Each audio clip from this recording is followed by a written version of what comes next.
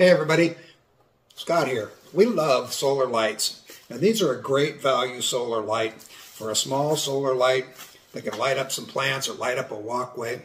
The nice thing about these is that they're very adjustable. And you have it adjustable, you can twist it on the back so you can sit the direction to catch the sun the way you want. If you mount it to a wall with the included hardware, that it will um, point down at a walkway or a fence. You can mount it to a fence post.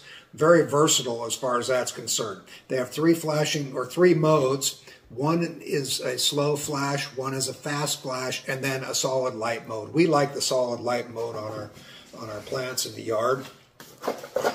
Come two to a package, and then they also give you the option. If you're not mounting it on a wall, you can mount it or on a post. You can mount it on a stake on a stake in the in the yard or in the garden.